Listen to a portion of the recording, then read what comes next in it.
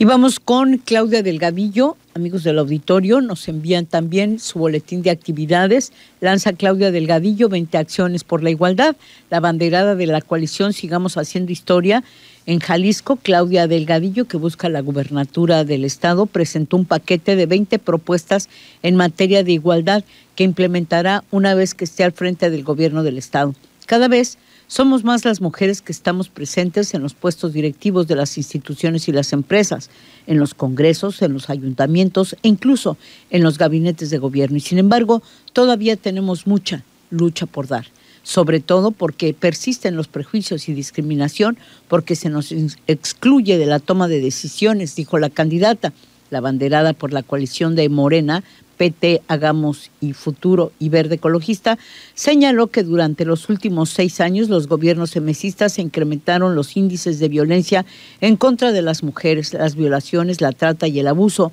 pues se relegó a este sector de la población a un segundo plano.